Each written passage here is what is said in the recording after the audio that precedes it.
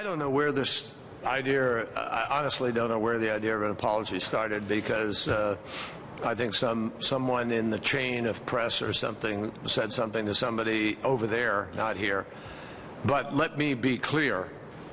Uh, President Karzai didn't ask for an apology. There was no discussion of an apology. Uh, there will be, there is no, I mean, it's just not even on the table. He didn't ask for it. We're not discussing it.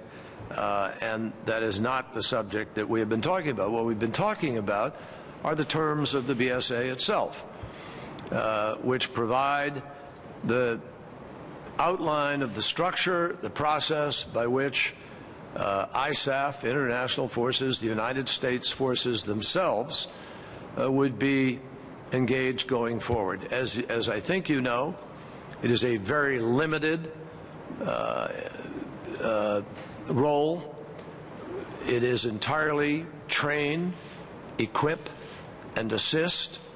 There is no combat role for United States forces. And the bilateral security agreement is an effort to try to clarify for Afghans and for United States military forces exactly what the rules are with respect to that ongoing relationship.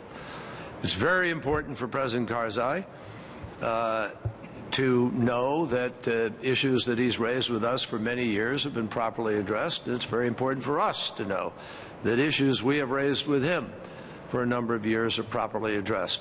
The agreement will speak for itself when the agreement is approved. And as we sit here tonight, we have agreed on the language that would be submitted to a Loya Jirga, uh, but they have to pass it.